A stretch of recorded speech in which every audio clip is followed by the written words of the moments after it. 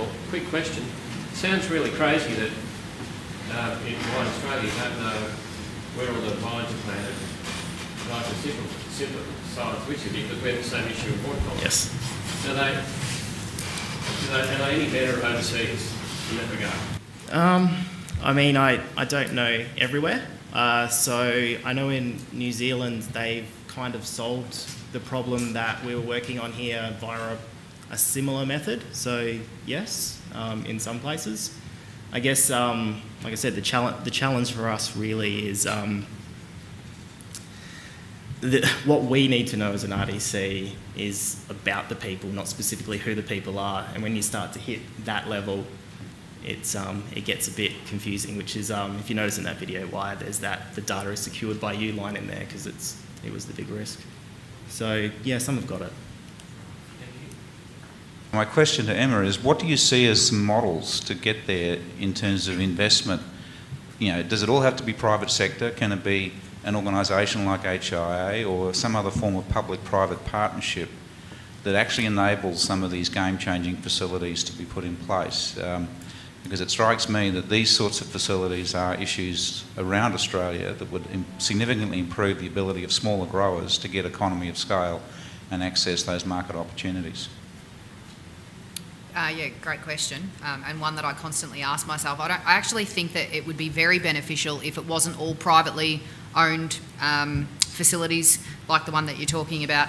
Um, and that was really driven by business need. And, and I know the guy who's the managing director now, and that was like what they've done because of that coming together has been amazing. But sometimes it's really difficult um, depending on, like, we're isolated where we are in regards to market gardening. So there's a lot of potato growers. Um, beats me why no one ever looked out their window and thought, uh, could we grow something else here? And it beats me even further as to why the growers didn't come together and um, create some kind of cooperative and have their own packing shed right there in Thorpdale. Like that, yeah, I really can't understand why. Sometimes it's about the idea of being competition with your next door neighbour, and I think that that's really detrimental to the industry. And that's why I think if you take out um, the private aspect and you make it part of the research stuff, if I could, and I looked at that that Dole corn that I showed, we looked at different ways of um, doing that with cauliflower.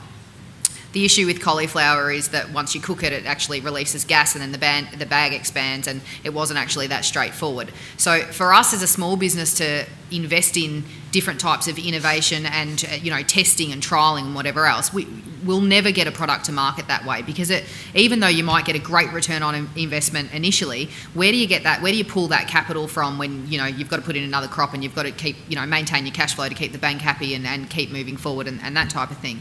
Um, we do have quite a large resource in regards to the levy funds that growers are putting in, um, and one of the things I think it, that is a bit of a struggle is that um, coming up with new research and development ideas and what, what do we want to research. Uh, we've got money sitting there that needs to be used for something, and I can't see why, if there's going to be you know direct links to actual market outcomes. You know, we've developed a new product and it's an idea of a smaller grower, and it might be Emma, and maybe she doesn't have the cash to do it herself, but she's able to go to this uh, facility. There could be one in every, you know, one in every where the ports are Melbourne, Sydney, Brisbane. Um, consolidation, um, packing, packaging, flow wrapping machines. For me to go out and buy a flow wrapping machine, it's going to put me back 50 or 100 grand we purchased a flow machine. It was a large investment for a business of our size. For me to get other growers around me and for it logistically to work, it, it wasn't possible. And those um, partnerships that come together, like Select Fresh,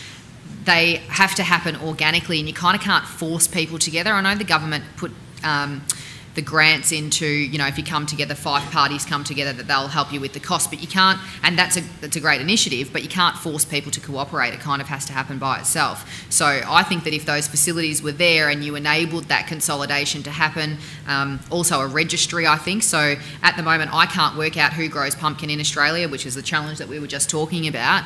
Um, can I call someone up and say, I've got a buyer in Singapore who will only take my cauliflower if I give him a mixed consignment? How do we facilitate those things from happening? So I think maybe if we stop just relying on private businesses, which require a lot of cash, and we start looking at government funding and research dollars and levies and things like that, that we're actually going to have um, quicker outcomes because culturally we don't cooperate uh, like, say, France or the Netherlands or wherever else, where it's just they've always cooperated. And I think there were some statistics this morning about um, the average size dairy farm in India being four cows and the amazing output that they're having. They're not doing that without cooperating. So that, that's a, just a cultural thing, and we, we're not so great at it here in Australia. So I think that we need to probably um, give it a little bit of a push by putting some dollars behind it.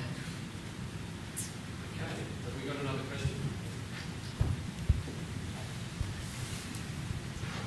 Hi, um, my question's for Michael. I'm Jodie Mewett from ABARES and we coordinate uh, land use mapping in Australia. So I was just wondering how closely you had worked with the state agencies in your project. Um, we uh, work with all the state and territory uh, governments across Australia and they all use the same land use mapping classification and actually grapes is one of the ones in there. So I was just wondering whether you were aware of that data um, and how available the data that you're collecting is. So can it be depersonalised?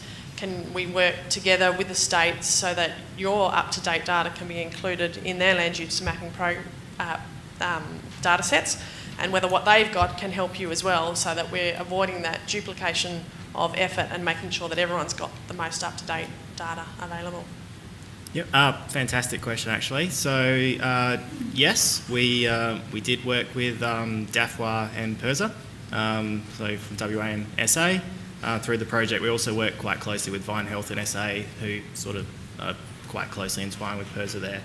So I guess the um, there's sort of two parts to answering that question. One is yes, the data exists and the land use classification is there, but within the, the wine industry itself, there's a lot of debate about that information. Um, so, like, I have sat in sort of a lot of rooms in WA, especially, where people argue with each other about how many plantings there are in their backyard, let alone the state. Um, so, that yes, the data's available, but there's always a bit of a second guess about it, which is sort of the angle what we were that we were coming at here by trying to make something that was quite visible and auditable. Um, so before I came in here, I actually got a phone call from one of the people over at Wines of WA who were looking at updating their smoke taint registers, and all the information that was um, obscured a little bit in that video up there is in DAFWA's databases as we speak. Um, PIRSA, not so much because the Vine Health data set has it there. In terms of getting the information back from them, it's it's a bit challenging still. That there's a there's a few loopholes. Um, loopholes. There's there's not enough loopholes. I probably should say in terms of being able to get access to that information in, a depersonalised way. Because the the general argument is if I tell you there's a vineyard there, it doesn't you know just because I don't tell you who owns it, that's it's too easy to work out, and it crosses that line of being able to plausibly work out the personal information piece um, which is a big challenge that we've had to work within. So for pilot, we haven't attacked that yet, but we've had conversations about it. So hopefully in the future we can solve that. Okay, Another question?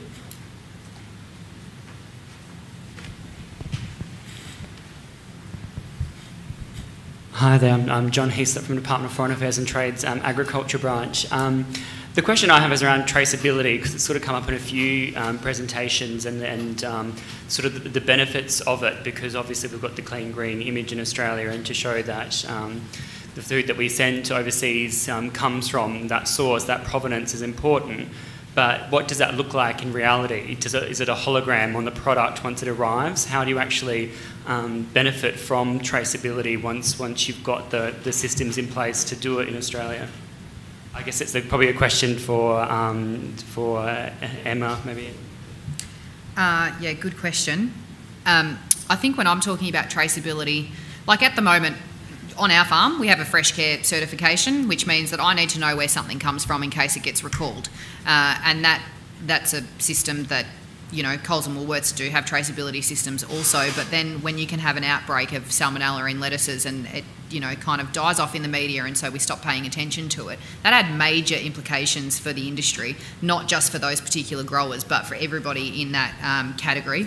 Um, it had a major in, uh, implications in our export markets, and so I think that it's just not quite enough. And like I said, when we're five times the price, uh, you know, even the Chinese, a lot of the Chinese producers, they have to have GlobalGAP to get into the supermarkets they're getting into. So that's a traceability system. So I'm saying we have to be the Lamborghini, just knowing that it came from lot two of my cauliflowers on this date and it ended up wherever else. I actually don't think that's enough. I think that people, if they're paying an absolute premium and if we're trying to capture that top 1% of the market, when I'm talking about traceability, it's not just where it comes from, but it's how it's grown, sharing production, production practices, and then going so far as being able to quantify like the nutrition value that comes from that food and being able to quantify and underpin that clean green and safe because otherwise shouldn't anyone who's got a GlobalGAP certification be able to say well we're clean and green and safe because our, our audit says that we are so what do we do above and beyond just that ordinary traceability that I guess most consumers would expect to be there as part of their food?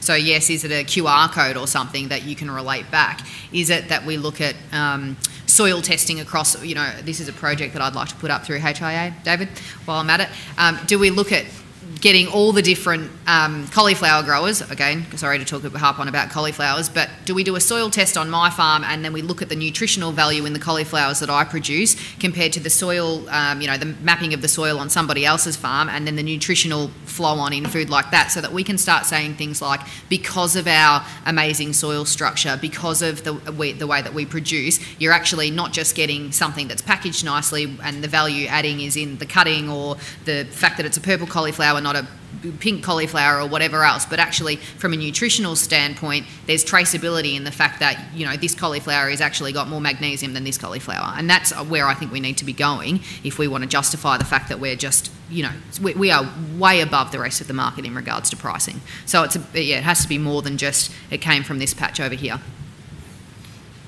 All right, folks. Well, um, we might call it a day, but. Uh, Thomas Sastel-Bird and Emma Germano and Michael Rocca are a fantastic example of, said earlier, some of the really uh, quality researchers and growers we have in this fantastic industry, the most exciting industry in agriculture. So I'd ask you to thank them. Yeah.